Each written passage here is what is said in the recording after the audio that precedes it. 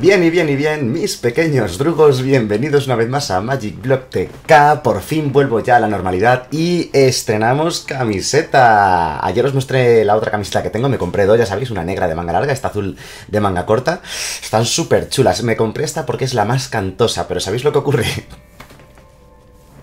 que con el fondo verde desaparezco. O sea, es azul, ¿vale? Pero es muy parecido al color verde. Entonces, cuando pongo la pantalla verde detrás para tal, o sea, que no puedo usarla, ¿vale? O sea, hoy vamos a volver al fondo clásico de Doraemon y sus amigos, Garfield y, bueno, otros muñecos que tenemos ahí detrás que estoy viendo en pantalla, que los estoy viendo ahora mismo. Vale, la camiseta yo creo que está súper guapa. Para lo que nos han costado, bastante bien está. Eh, volverá, mucha gente lo ha preguntado, ¿volverá a haber camisetas en un futuro próximo?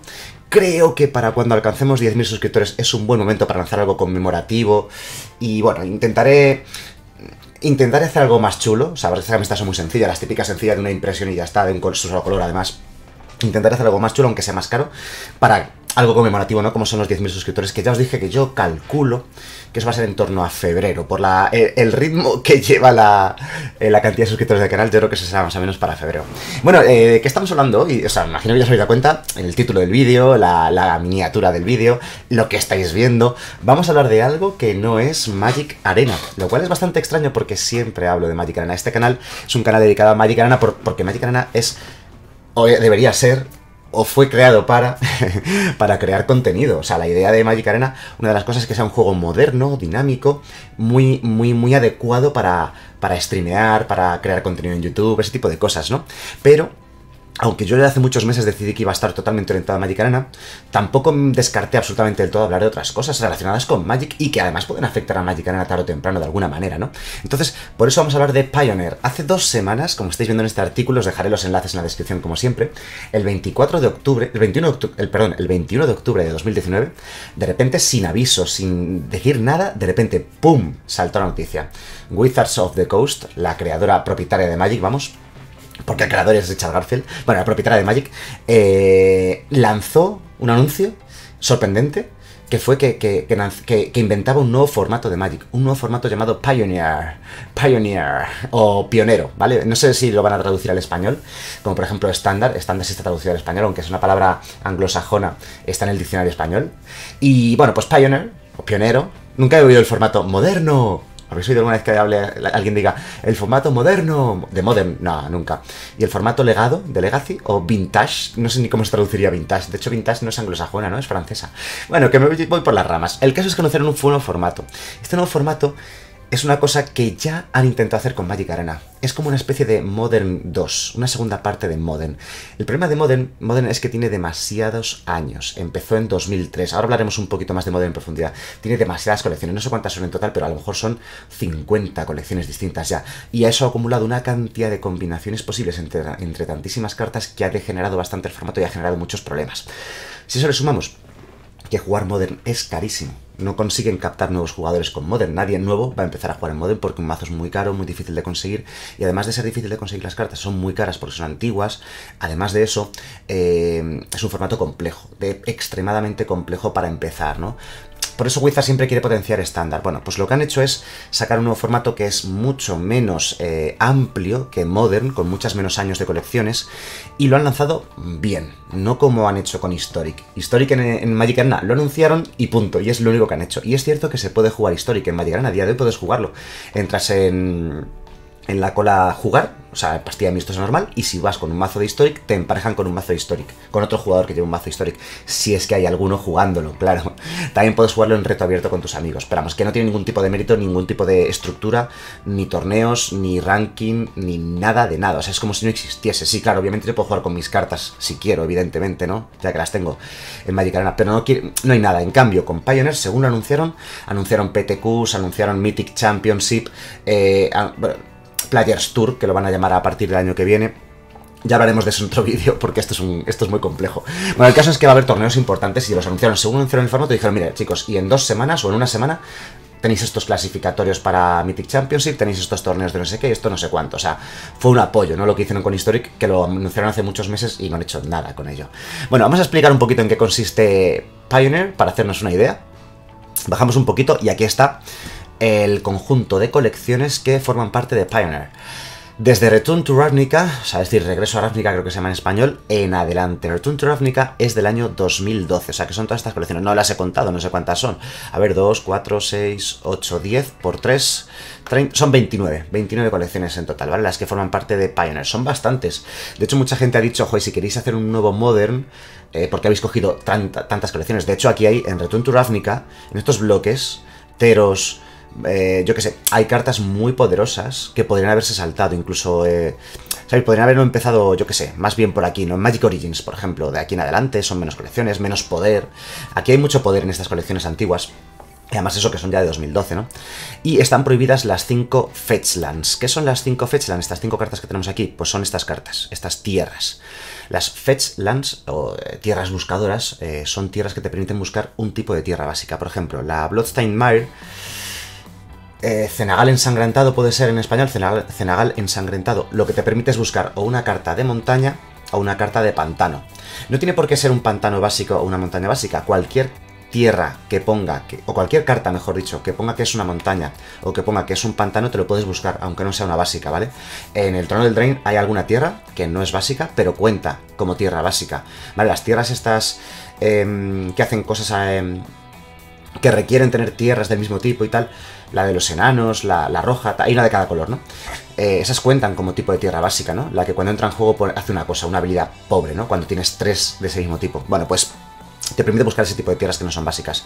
Luego esta busca azul-blanca, esta busca azul-negra, esta busca blanca-verde, y esta busca roja-verde. Son de los cinco. de las cinco combinaciones de colores amigas. No sé si sabéis que hay colores amigos y colores enemigos. Bueno, pues los cinco amigos. Tengo un vídeo buenísimo en el canal que hice al principio del canal hace muchísimo tiempo y que por tanto vio muy poca gente, en el cual explico las diferentes combinaciones de colores. Los gremios, es decir, las combinaciones de dos colores, los eh, las combinaciones de tres colores e incluso las combinaciones de cuatro colores. También están explicados el nombre, su idea de trasfondo, ese tipo de cosas. En la rueda de, la rueda de colores de Magic. Hay un vídeo buscando, no sé cómo se titulaba, pero si buscáis Magic, colores, gremios, Magic Block TK, lo vais a encontrar. Lo vais a encontrar porque creo que nadie más lo había hecho. Bueno, vamos a esto un segundito. Comparemos Pioneer con Modern. Eh, bueno, por cierto, antes de comparar con, Modern, Historic, el formato que habían prometido para Magic Arena, es solamente de Ixalan en adelante. Incluye estas últimas nueve colecciones que, están implementadas dentro de Magic Arena, ¿vale? De Ixalan en adelante, nueve colecciones. Ya digo que no le han dado ningún tipo de apoyo, ni desarrollo, ni nada de momento a Historic. Lo harán, lo han prometido. Esperemos que lo hagan en breve, ¿no? Bien, eh, que sepáis que cuando salió la beta cerrada de Magic Arena y la beta abierta también, también estaban implementadas dentro de Magic Arena Kaladesh, eh, Revuelta del Éter, Amonkhet y Hora de la Devastación. Estas cuatro también estaban en Magic Arena, pero las borraron.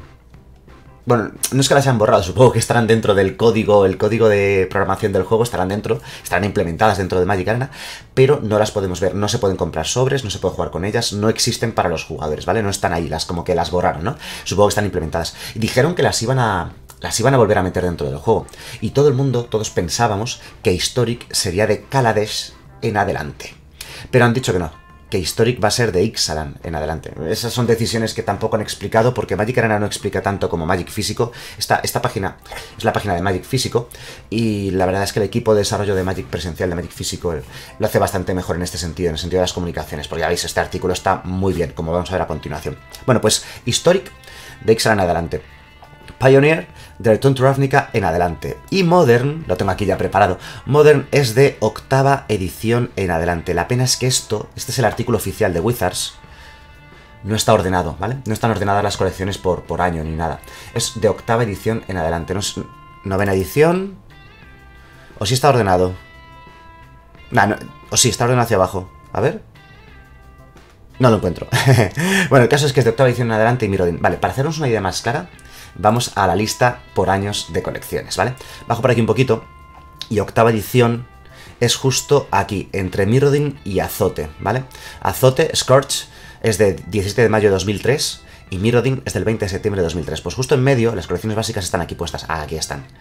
Octava edición, octava edición, como podemos ver, es de 28 de julio de 2003. Aquí es donde empieza el formato Modern e incluye una cantidad de colecciones abrumadora, pues de, de, perdón, es de aquí, de octava edición en adelante. Todas estas colecciones básicas están incluidas en Modern, ¿vale? Todas estas. Y luego, como estaba comentando, desde Mirrodin, que es del 20 de septiembre de 2003 en adelante. Son 16 años de colecciones. Vale, todas estas de Mirrodin, Dark Steel, Fifth Down, no me he puesto a contarlas, pero ya digo, serán 50 o 60 colecciones por lo menos, ¿no? Bueno, todas estas de aquí no, han salido todavía. Espérate, miento, estas sí que han salido. No han salido, estas de aquí en adelante, estas que estoy marcando, todavía no han salido. De hecho, muchas de ellas todavía no tienen nombre, son nombres en clave. Algunas de ellas, este artículo no está bien actualizado, por cierto, porque pone que no ha salido todavía Gremios de Ravnica.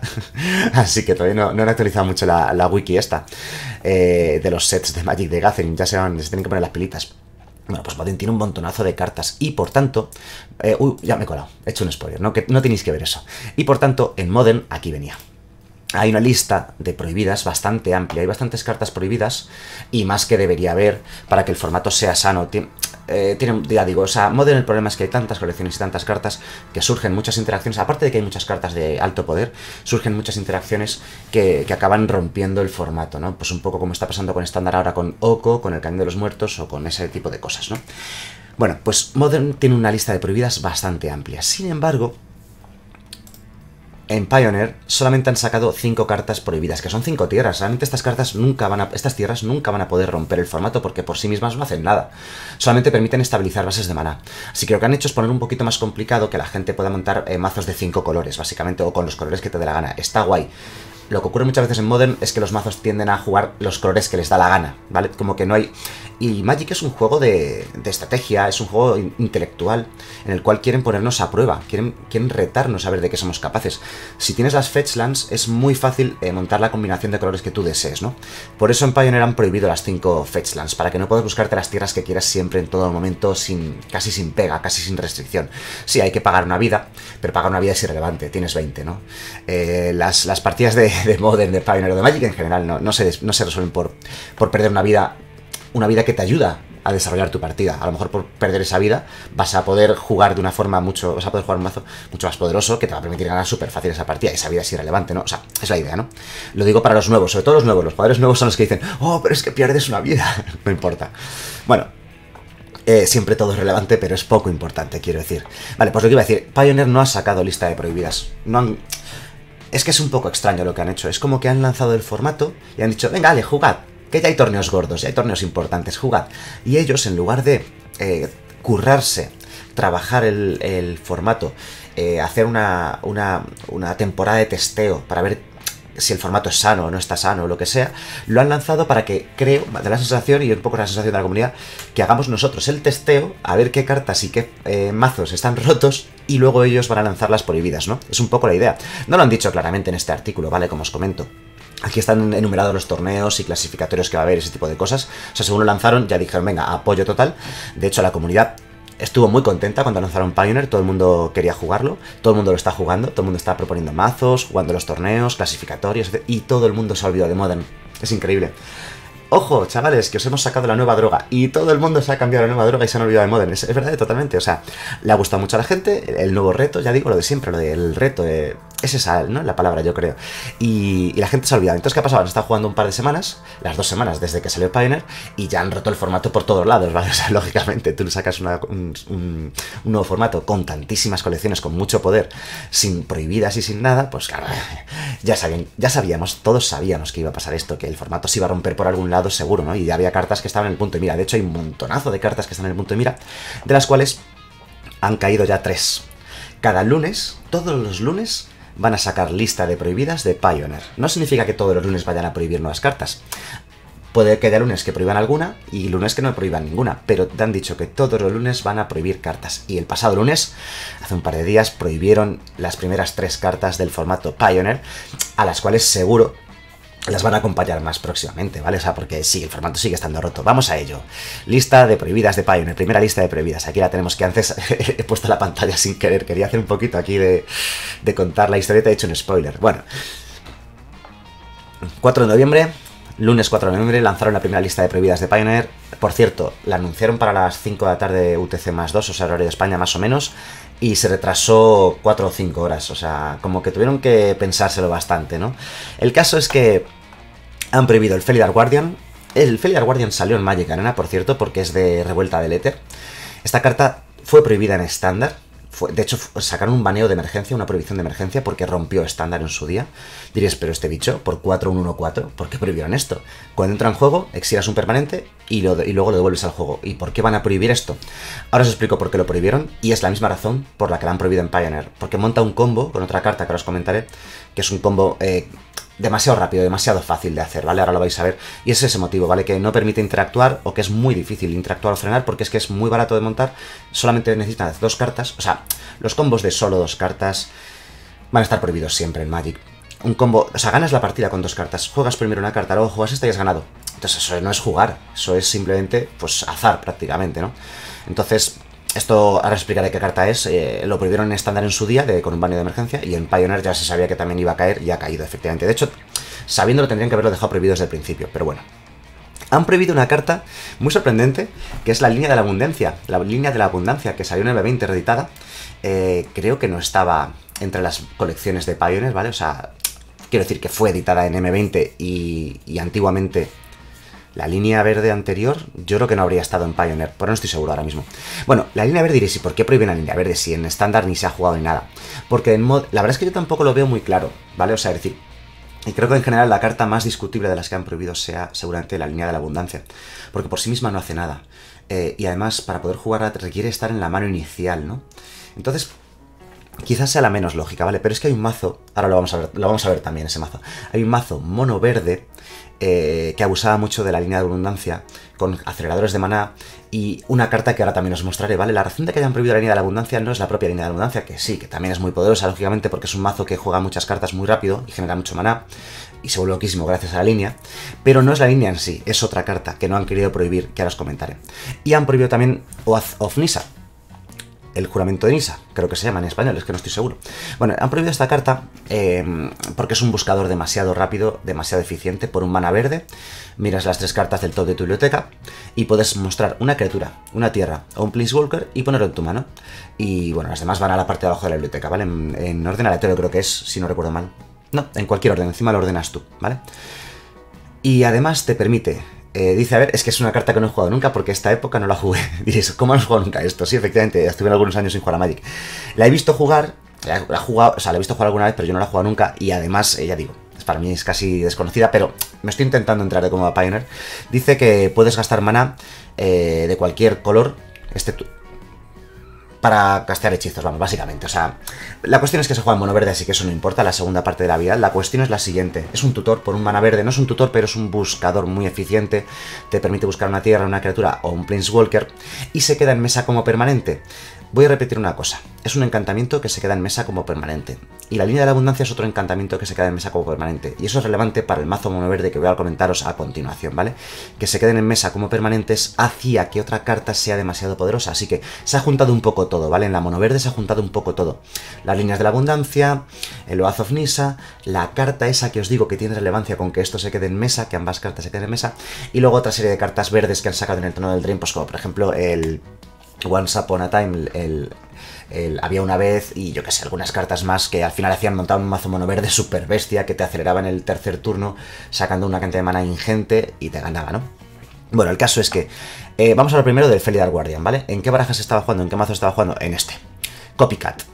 Eh, os voy a decir, no voy a explicar la baraja, además este mazo ha quedado destruido, ha quedado prohibido, así que no importa, pero voy a decir la carta con la que se combinaba. Vuelvo a repetir que Felidar Guardian, cuando entra en juego, saca un permanente de juego y lo devuelve. Ya está. Y por 4 es un 1-4. Es una carta malísima a priori.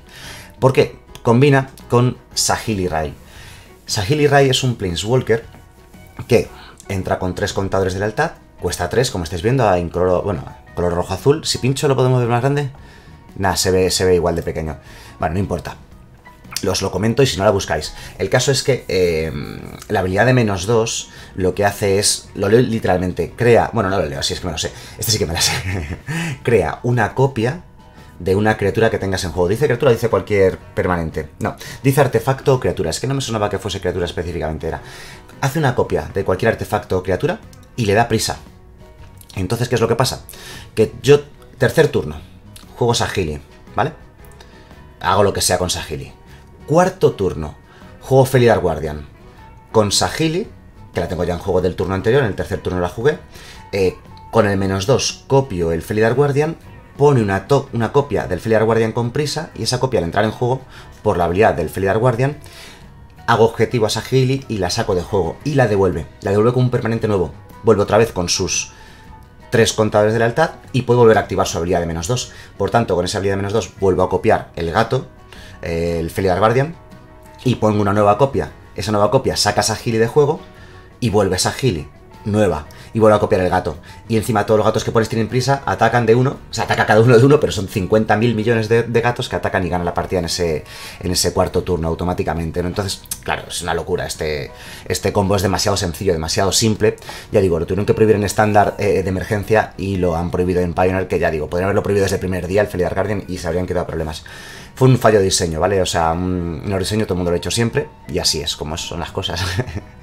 vale, y luego la otra, la mono verde, la verde que os estaba comentando es esta baraja. Voy a dejar enlaces a todo, ¿vale? A los artículos, a las listas de colecciones, todo ese tipo. Todo lo que os he mostrado voy a dejar enlaces para que lo podáis ver en la descripción del vídeo, ¿vale? En la descripción del vídeo hay un montón de cosas interesantes, así que siempre vedlo. Y como digo, el mazo mono verde lleva, pues, lleva sus, eh, sus cuatro Oath Nisa, sus cuatro líneas de la abundancia, que son las cartas que han prohibido, y simplemente se acelera un montonazo con cartas como el Elfo Místico, Elfo de Janowar, eh, ¿El Burning Tree Shaman cuenta para la línea de la abundancia? Claro, no lo había pensado, pero sí, supongo que sí. O no, es cuando se gira, ¿no? No cuenta. Nah, no cuenta, no cuenta, miento. Es que ya he dicho, no me sonaba bien que esto contase. El caso es que siempre que giras un permanente para dar mana, da un mana adicional, ¿vale? O sea, un permanente, una criatura, mejor dicho, ¿vale? Y, pero la, carta con la carta clave que ha hecho que se prohíba esto y esto no son ellas mismas, sino es esta. Nictos. Esta tierra eh, da mana verde por eh, cada, bueno, como se, como se llama, por devoción, ¿vale? Por devoción quiere decir por cada permanente, por cada coste de maná en tus permanentes, ¿vale? Entonces, por ejemplo, si yo tengo una línea de abundancia en mesa y un of Nisa, tengo tres manás verdes, tres costes de color verde en juego, y Nictos daría tres de maná. El caso es que este mazo lo que intenta es poner un montón de cartas de costes verdes en mesa, para que Nictos de maná cantidad, cantidades ingentes de maná, 8, 10 de maná o lo que sea. No querían prohibir Nictos, ¿por qué? Porque Nictos es una tierra que se puede meter en otros mazos y otros mazos pueden intentar... Es una tierra divertida. Es divertido montar un mazo en torno a ella. Y propicia que haya mazos monocolores también en los formatos, ¿no? Entonces, eh, la Nictos te puede encajar en cualquier color, en cualquier mono blanca, mono azul, mono roja, que quieras construir un poco en torno a ella. Entonces dijeron, ¿qué hacemos? ¿Prohibimos Nictos y nos quitamos el problema en medio o prohibimos la línea y el Nisa? Pues dijeron, venga, va, pues nos vamos a prohibir el buscador y la línea de la abundancia. Quizás estas, ya digo, las dos prohibiciones estas más, más delicadas. Tampoco he jugado yo Pioneer, no sé, la gente yo he leído que estaba de acuerdo con el Oazon Nisa, menos de acuerdo con la línea de la abundancia, pero bueno, que les parecía bien y que así dejan Nictos en, el formato y se puede seguir jugando cartas con, Nictos. Y este es un poco el resumen, el resumen de lo que es Pioneer de lo que es Pioneer y de lo que significa y de qué situación estamos. El lunes que viene habrá, habrá otra lista de prohibidas y no descarto algún día eh, meterme en Magic Online. En Magic Online se puede jugar. Eh, Magic Arena no de momento, no han dicho nada, ni creo que, no creo que jamás en la vida vayan a sacar Pioneer en Magic Arena porque son demasiadas colecciones, las tendrían que ir hacia atrás 20 colecciones más. Ya les va a costar sacar estas cuatro si es que las sacan, la de Calades en adelante. Así que Pioneer no creo que vaya a existir. Tienen que potenciar Historic para Magic Arena. Lo que no tiene sentido es que o sea, lo que todo el mundo esperaba es que sacasen Historic para Magic físico. O sea, que este anuncio fuese quitando, quitando todas estas colecciones de aquí, estas 20, y dijesen History, que es un formato oficial competitivo de Magic presencial y de Magic Online, no solamente de Magic Arena. Y no, lo que han hecho es sacar otro, otro Historic, digamos, un Historic más de Modern, o sea, un Modern 2, digamos. Igual que Historic es Modern 3, o como lo queráis llamar, ¿vale? Así que bueno, un poco sorprendente el anuncio, vamos a ver dónde va a parar la cosa y esperemos que en Magic Arena tengamos novedades pronto. Espero que el vídeo os haya gustado y nos vemos en el siguiente vídeo. Hasta luego.